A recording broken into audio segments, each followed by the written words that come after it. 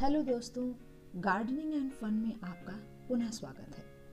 आज मैं आपको एक ऐसे वृक्ष के बारे में बताऊँगी, जिसे कि भगवान श्री हरि के पूजन और श्रृंगार में प्रयोग में लाया जाता है।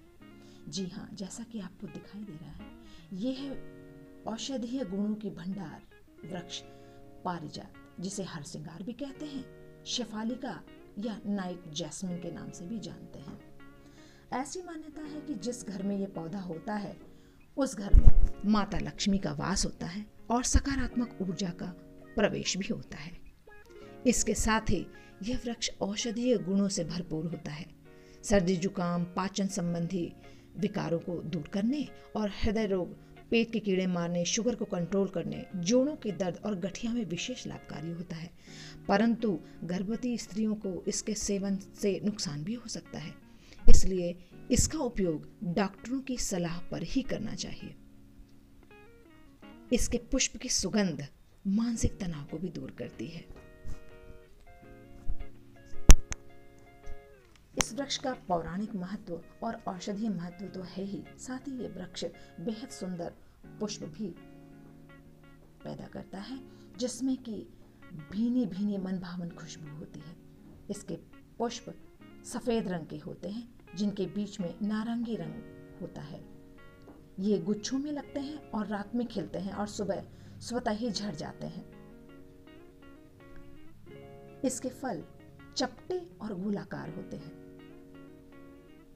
देखिए, जैसा कि आपको मेरे वृक्ष में, पारिजात के वृक्ष में दिखाई दे रहा है कि इसमें ढेर सारे कलियाँ, फूल और फल भी लगे हैं।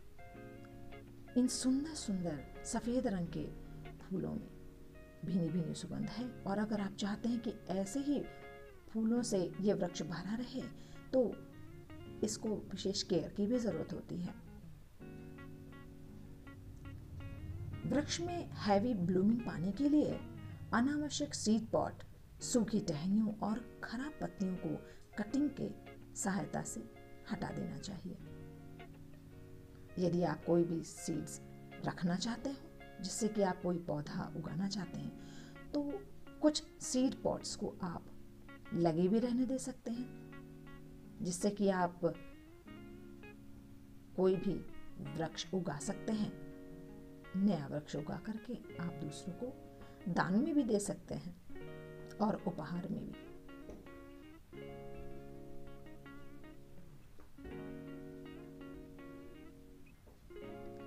इसके फल जब कच्चे होते हैं तो हरे रंग के होते हैं, परंतु जब ये पक जाएँगे तो ये भूरे रंग के हो जाएँगे। जिन्हें आप तोड़ करके सुरक्षित रख सकते हैं। देखिए, ये मेरा पौधा है जिसे मैंने सीड पॉट से ही उगाया था। एक स्वस्थ पौधा, पारिजात का।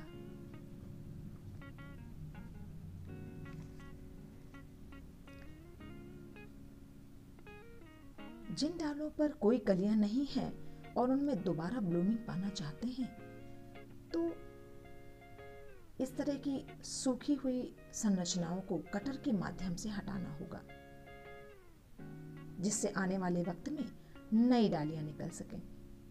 नई डालें, अर्थात नई ब्लूमिंग्स। व्यर्थ की सीड पॉट, सूखी और रोग से ग्रसित पत्तियों को कटर के माध्यम से काटकर हटा दें। देखिए, पौधे में नई ब्लूमिंग्स भी तैयार हो रही हैं, नई डालें भी निकल रही हैं। परंतु ध्यान रखें, बहुत ही हार्ड कटिंग ना करें। सॉफ्ट कटिंग कीजिए, इससे पौधा जल्दी ही रिकवर करेगा और नई नई डालें प्रोड्यूस करेगा, जैसा कि आप देख रहे हैं।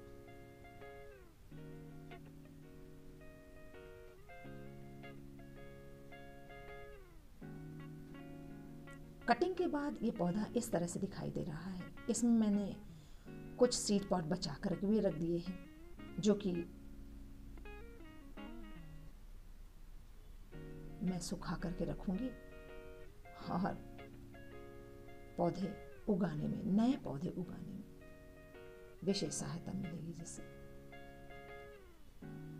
आप भी अगर सीड पॉट बचाना चाहते हैं तो इन्हें वृक्ष पे लगा रहने दें।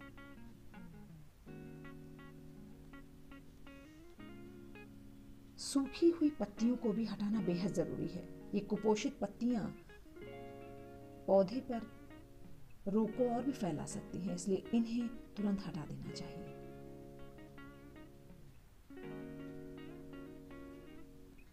अब बारी है गमले की गुड़ाई करने और पौधे को उचित पोषण प्रदान करने की। देखिए, मेरे गमले में कई तरह के वृक्ष कई तरह के पौधे उगाए हैं। जिन्हें हटाना बेहद ज़रूरी है। इन पौधों की कटाई छटाई करूँगी और कुछ पौधों को इससे हटा दूँगी, जिन्हें मैं किसी दूसरे गमले में रोपित कर सकती हूँ। ऐसा करने पर इन पौधों का नुकसान भी नहीं होगा और ये मेरे लिए पुष्प प्रदर्शित करने के लिए भी तैयार रहेंगे।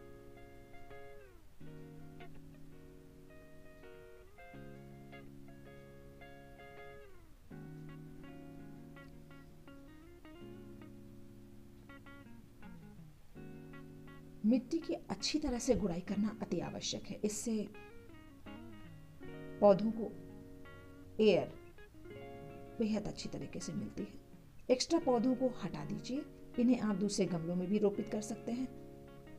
किसी को गिफ्ट भी कर सकते हैं।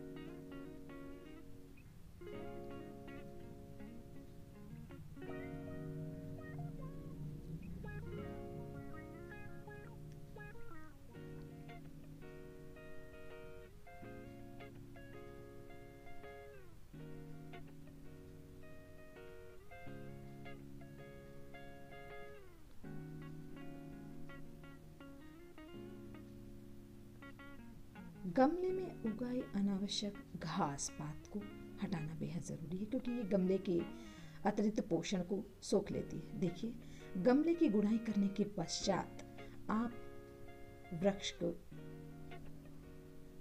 गमले को किसी धूप वाली जगह पर 24 घंटे के लिए छोड़ दीजिए। ऐसा करने से वृक्ष को एयर सर्कुलेशन बहुत अच्छी तरीके से मिलता है और फंगस से भी छुटकारा मिल जाता है।